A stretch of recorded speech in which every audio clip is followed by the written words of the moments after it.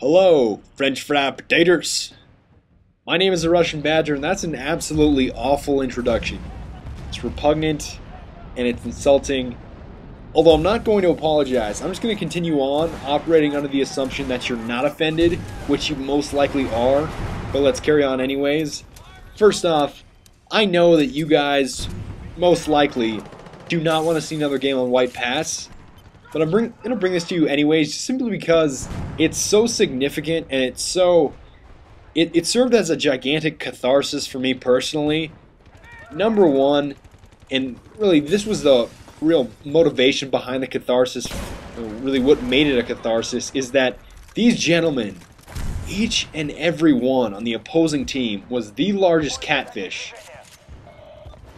It was beyond annoying. It was engaging in every single tactic that I would consider dirty and and unfair and I'm not going to say unethical. That's that's breaking the line a little bit, but anything you can think of. Only using the M60s and the AN94s. Look at this gentleman here. He's rocketing the C4, or excuse me, rocketing the MCOM when he's two feet away. He could simply arm it. I really don't understand the justification behind that. Not to mention there's C4ing of UAVs, C4ing in the MCOM.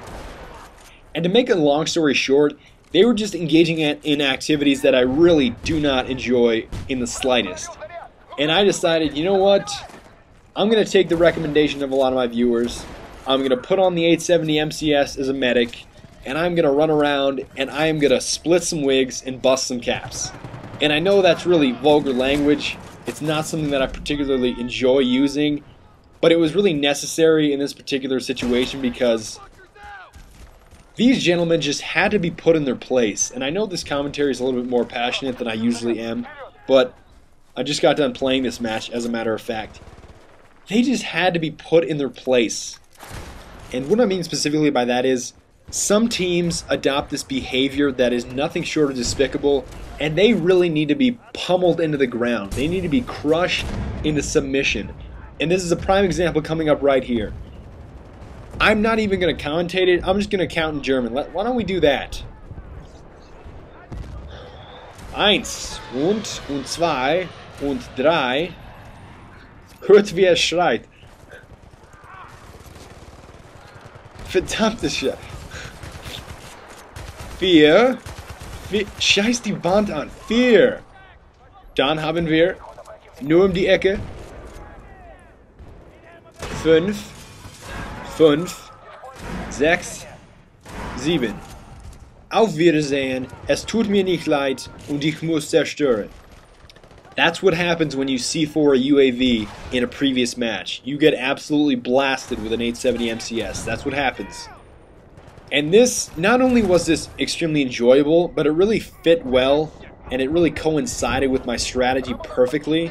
And what I mean specifically by that is, all I was doing was as soon as I would spawn, I have the lightweight kit obviously, I'm rushing straight towards their front lines towards their larger squads. Oftentimes they, they weren't even dispersed or spread out at all, which is an awful strategy to begin with, but I would just go into those really large groups, sneak up behind them, try to get as many kills as I could because I knew we would have to get lots of kills to hold them off.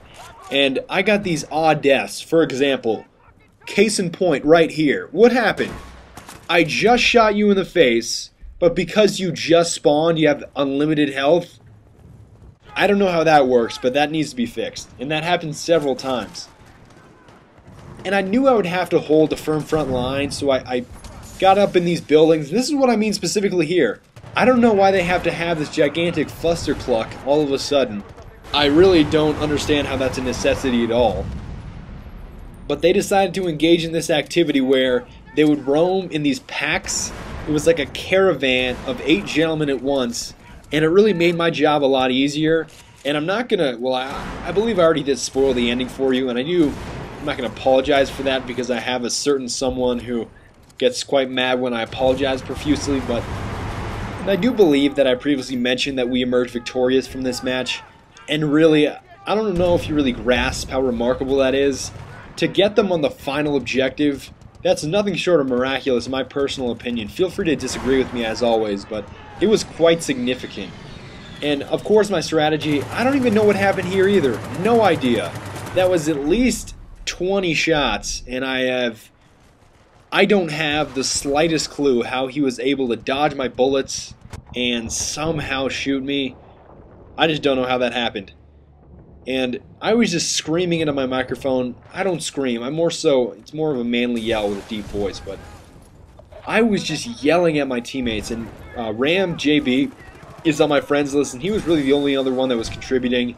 And stop with the rockets. That's what you deserve when you shoot rockets at an objective. You deserve to get double killed with one shot. And it's just. It was quite amazing how our team was actually able to push up, and that's really what I was yelling, as I previously mentioned. I was just yelling and yelling and yelling. Get up, push up, stop sitting in the spawn. If you sit in the spawn, they're going to flood the entire area with rockets and C4 and noob tubes, and we are going to be toast. We are going to emerge defeated from this specific match if we don't push up.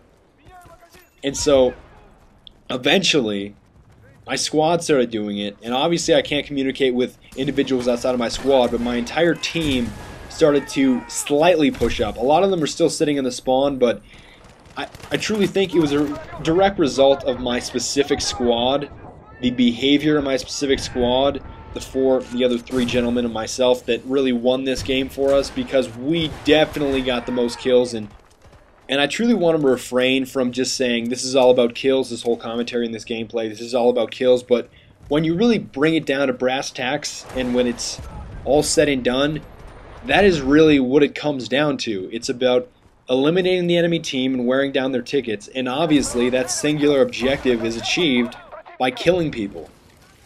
And I really had some foresight, and I had a preconceived notion that if we lost this first set of objectives, which we obviously did, I was just going to grab my shotgun. I'm going to run straight into their spawn. I'm going to run straight into the large groups of enemies, and I'm going to eliminate as many of them as I can. I'm not even concerned about my ratio, my kill to death ratio. All I want is just to stack up the body count because just the thought of allowing them to win on White Pass was just.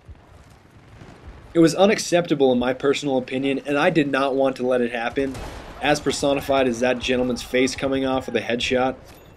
And I know I'm a little bit more passionate than I regularly am. Usually I'm more calm and collected, but I just got done playing with this match, as I previously mentioned, so it's still fresh in my mind, and it's it's kind of an odd situation, kind of an odd tone of voice and an odd mood for me during a commentary, but it is just so satisfying to beat a team that you I'm not going to say hate because hate I don't know if, and I don't even know what happened there either. Point blank shotgun, but hate is really a term that I would never use in a forum of online first person shooters. That's not appropriate in my personal opinion. It's too it's too drastic, it's too harsh. And as you can see here, in that last couple minutes, I was screaming. I was absolutely yelling and screaming to get forward and get some kills because that other that other B objective was extremely close to collapsing. I don't know how we pulled it off, and obviously that screen is wrong. We obviously won. You can hear the majestic music portraying that we won, and it's it's a valiant it's a valiant victory. So with that, I want to leave you guys with thank you for recommending a class that I can actually use. There's your final score. I will see you guys next time. Thank you for watching. See you soon.